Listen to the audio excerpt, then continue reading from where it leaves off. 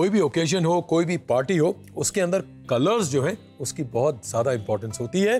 Colours और occasions इन दोनों को हम मिला रहे हैं। तो भाई, खाना तो इसमें आना ही चाहिए और सारे कलर्स आएँगे खाने से आज की हमारी पार्टी स्नैक स्पेशल रेसिपीज़ के अंदर।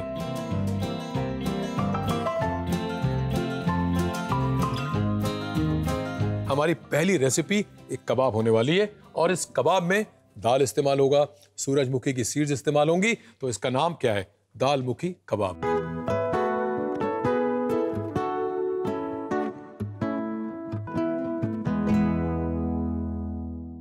मेरे पास कुछ उड़द की दाल जो है वो उबाल के रखी हुई है। आ, दाने हैं कन हैं जो एकदम सॉफ्ट हैं। आराम से हाथ से इस तरह मैश हो जाने चाहिए। ओके लेट्स बिगिन सबसे पहले हमारे पास है थोड़े से सूरजमुखी यानी कि सनफ्लावर के सीड्स जिनको हम हल्का सा चॉप करेंगे। तो यहाँ पर करीब हम तीन से चार चम्मच जो है सनफ्लावर सीड्स का इस्तेमाल कर रहे हैं। चॉप करने की जगह अगर आप चाहें तो इसको जो मोटार पेसिल होता है जिसमें हम मसाले कूटते हैं, उसके अंदर कूट के भी इस्तेमाल कर सकते हैं। सीड्स तो चॉप होकर तैयार हो चुकी हैं। आप देख रहे हैं, मैंने बहुत ज़्यादा इनको पाउडरी चॉप नहीं करा है।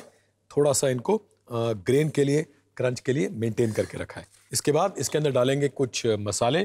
तो सबसे पहले थोड़ा सा पेपरिका पाउडर दो छोटे चम्मच। इसके साथ में ही इसमें हम डालेंगे भुना हुआ जीरा पाउडर ये जो है, दाल के टेस्ट को बहुत अच्छे से कॉम्प्लीमेंट करेगा, इसलिए तीन छोटे चम्मच। सी सॉल्ट अंदाजन, गरम मसाला पाउडर ये हम डालेंगे करीब डेढ़ छोटे चम्मच।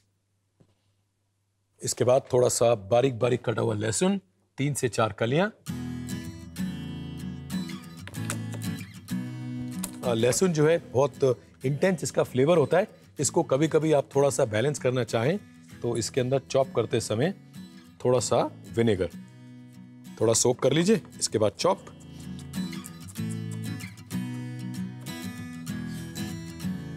ये गया चॉप गार्लिक इसके अंदर। इसके बाद इसमें दाल ऐड करेंगे हम। तो ये एक से सवा कप यहाँ पर इस्तेमाल होगी दाल। अब क्योंकि ये सॉफ्ट बॉईल की हुई है तो आसानी से मैश होकर इसको हम मिक्स कर सकते हैं। चलिए, इस मिक्सचर को हम रखते हैं थोड़ी देर के लिए। तब तक हमारे पास कुछ ताज़े ताज़े टमाटर हैं अगेन फॉर कलर इसको स्मोक कर लेते हैं, इसको हम जला लेते हैं गैस के ऊपर। तो इसको स्मोक करने के लिए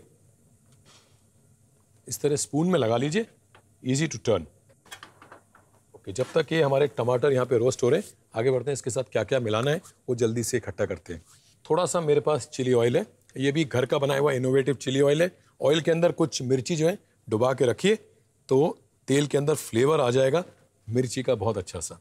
ऑयल के अंदर कुछ मसाले हम इस्तेमाल करने जा रहे हैं थोड़ा सा गरम मसाला, डेढ़ से दो चम्मच रोस्टेड जीरा पाउडर, एक बड़ा चम्मच। विनेगर, तीन से चार चम्मच सी सॉल्ट अंदाज अनुसार। इसके बाद थोड़ा सा ताज़ा नींबू और ताज़ा नींबू का रस, दोनों का इस्तेमाल। तीन से चार छोटे चम्मच। इसके बाद इसका जो छिलका है हल्का सा इस तरह पील। इसके बाद इसको करेंगे chop.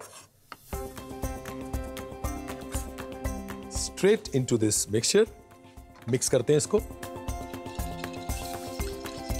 इसके बाद इसमें हम डालेंगे थोड़ा सा क्रश्ड पेपर करीब एक छोटा चम्मच। मिक्स अगेन मिक्सचर तैयार है। इसके अंदर अब हमारे टमाटर स्मोक किए हुए। देखिए, पूरी तरह से काले हो चुके हैं। एक स्मोकी फ्लेवर इसके अंदर आ रहा है।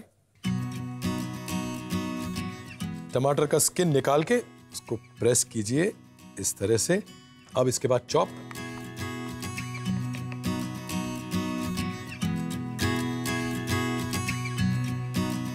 आइए अब अच्छे से इन दोनों को मिक्स कर लेते हैं।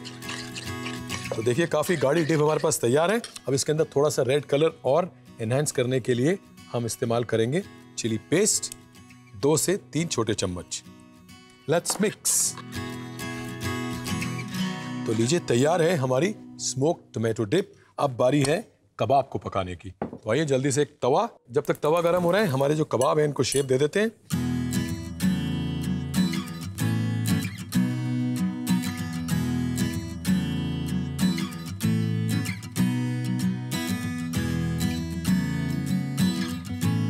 कबाब जो है, शेप देख के मैंने तैयार कर लिए देसी घी में सेकेंगे। दाल है सनफ्लावर सीड्स है, बहुत अच्छी खुशबू, बहुत अच्छी महक। तो ये गया देसी घी इसके अंदर। इसके बाद एक एक करके कबाब। क्या बात।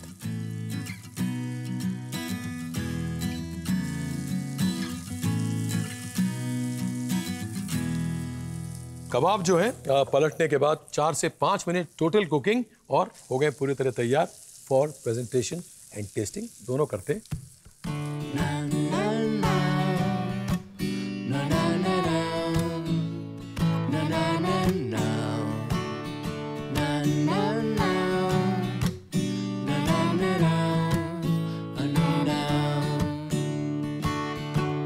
तो लीजिए, तैयार है हमारे दाल मुखी कबाब अब रिकैप देखना चाहेंगे। आई एम श्योर आप देखना चाहेंगे।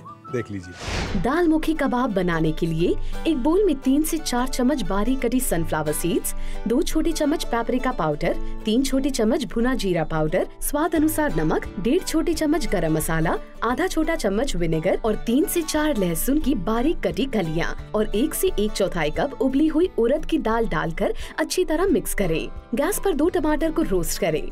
दूसरे बोल में तीन से चार चम्मच चिली ऑयल डेढ़ से दो छोटी चम्मच गरम मसाला एक चम्मच रोस्टेड जीरा पाउडर तीन से चार चम्मच विनेगर स्वाद अनुसार नमक तीन से चार छोटी चम्मच नींबू का रस एक छोटा चम्मच नींबू का छिलका और एक छोटा चम्मच कुटी काली मिर्च मिक्स करें रोस्टेड टमाटर से छिलका निकाल कर चॉप करें और बोल में डालें दो से तीन छोटी चम्मच लाल मिर्च का पेस्ट मिक्स करें दाल मिक्सचर को कबाब की शेप दें और गरम पैन में दो छोटी चम्मच देसी घी डालकर चार से पाँच मिनट के लिए फ्राई करें प्रेजेंटेशन के लिए कबाब को सर्विंग बोल में लेटस लीव्स पर रखें पार्सली टमाटर और नींबू की स्लाइसेस से गार्निश कर चटनी के साथ सर्व करें। आपकी दाल मुखी कबाब तैयार है।